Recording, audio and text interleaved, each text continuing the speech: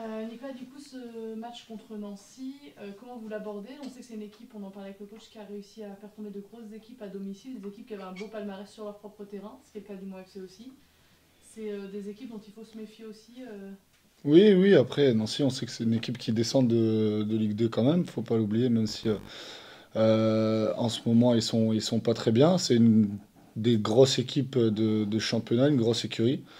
Donc euh, ce sera à nous euh, de garder notre solidité euh, à domicile et de faire ce qu'on sait faire le mieux et, et d'essayer de remporter ce match demain.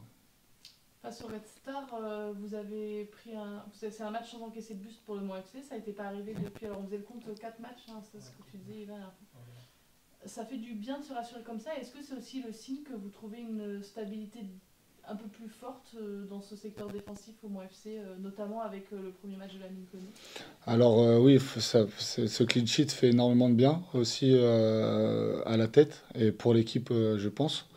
Même si on aurait aimé gagner ce match, on, a, su ne pas prendre de but contre, le, contre le Restar, qui est une des, une des meilleures équipes du championnat. Donc ça, c'est très intéressant et l'apport de la mine nous fait énormément de bien aussi. Euh, de par sa, sa, prestance euh, sur le terrain et, euh, et la carrière qu'il a. Donc ça nous fait du bien à, tout niveau, dans la sérénité, dans le, les duels aussi, où il apporte vraiment son expérience et c'est très agréable de l'avoir de, devant moi.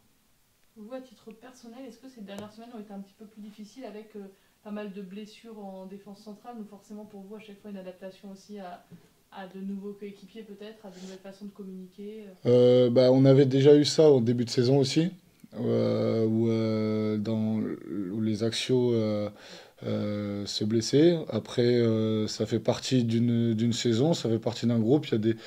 Il y a des mecs qui, qui sont prêts et avec qui on travaille tous les jours à l'entraînement. Donc non, c'est pas, c'est pas dérangeant parce qu'on a l'habitude maintenant, euh, depuis le, temps qu'on se connaît, euh, on, a, on a tous pris l'habitude de jouer euh, les uns avec les autres, donc c'est pas une problématique, non. peut-être plus personnel en tant que gardien, justement, en quoi c'est important de, réaliser des matchs comme, comme celui des Red Star où vous ne prenez pas de but?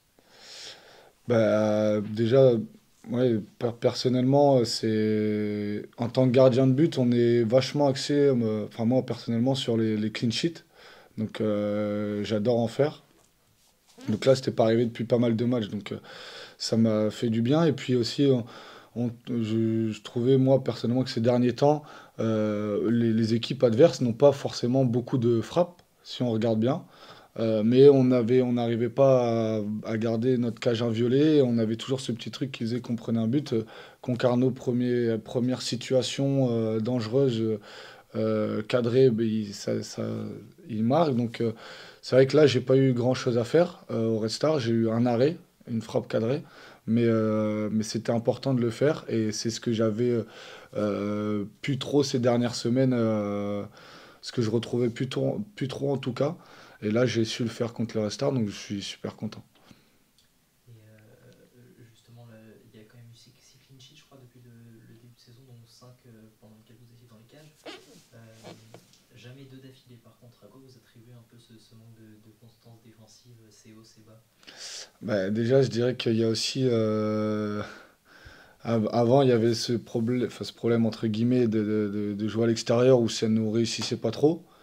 Euh, donc euh, là, on a eu le, on, a, bien bossé pour faire ce clean sheet au Red Star et maintenant j'espère que demain on va pouvoir continuer. comme à la maison, vous l'avez dit, on, on a fait bah, tous les clean sheets pratiquement à la maison. Donc donc ça va être, ouais, ça va être ce, pas un challenge, mais euh, ça serait bien de, ça serait bien de faire un clean sheet demain pour continuer sur euh, notre évolution euh, et notre solidité défensive. Et ce manque de résultats et aussi de solidité défensive à l'extérieur, à quoi vous l'attribuez selon vous? On en a souvent parlé, mais. Alors honnêtement, je sais pas. je ne dois pas vous dire de bêtises.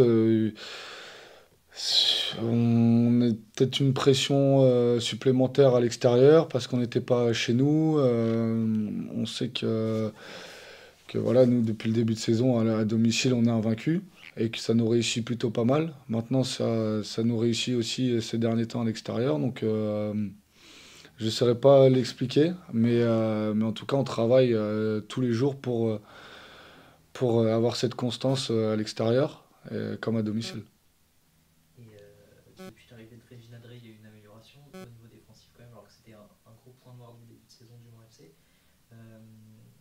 Qui a changé défensivement selon vous de, votre poste de gardien? Est-ce que vous avez vu des choses, des choses changer depuis l'arrivée du, nouveau coach? Euh, alors, euh, souvent, quand on change de coach, les joueurs se, remettent au diapason et se remettent un, euh, coup de boost. Et je pense que c'est ce qui s'est passé là. Donc, tout le monde s'est remis dans, la, dans même direction et tout le monde défend ensemble. Donc, ça, c'est un gros point positif aussi. Mais ça commence des, des attaquants parce qu'on parle des défenseurs et du gardien, mais ça commence par eux.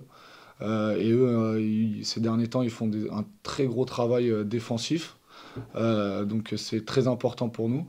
Et, je pense que oui, il a, a, amené une, certaine rigueur aussi, qu'il nous manquait peut-être un petit peu par moment, qui nous a joué des tours. Et il a su ramener ça, et c'est pour ça qu'on essaie de le garder un maximum.